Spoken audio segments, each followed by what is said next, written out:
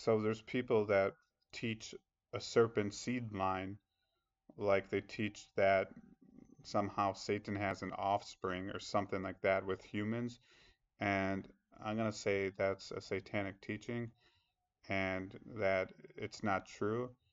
And um, I see it on YouTube and some other places, and there's a lot of issues with that.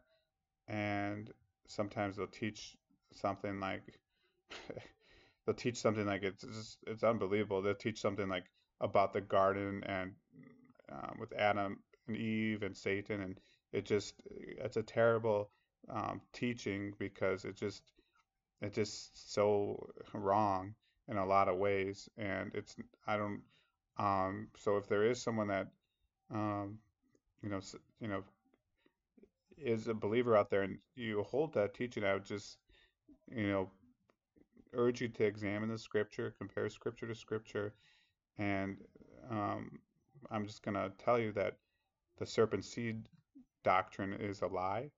Okay, Satan doesn't have an offspring with humans, and that's um, a false teaching. If someone tells you that's the case, it's a false teaching. And it's not just a minor one, it's a big one.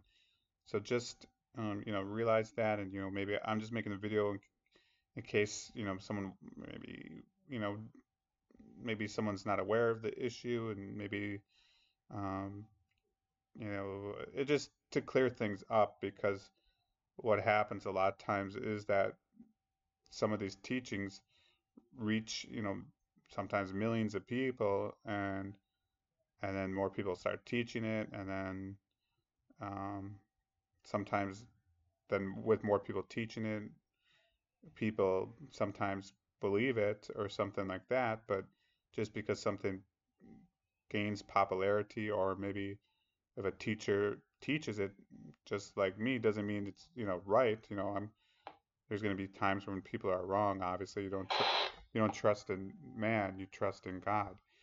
And you compare it with what the bible says.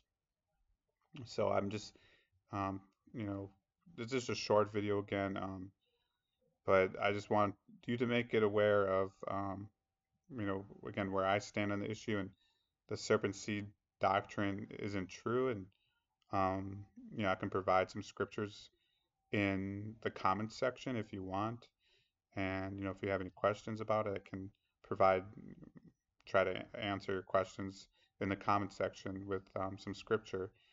So, um, just a short video there, um, just to give you a heads up about that and um, where I stand. And again, I think the serpent seed doctrine is a false teaching that needs to be avoided.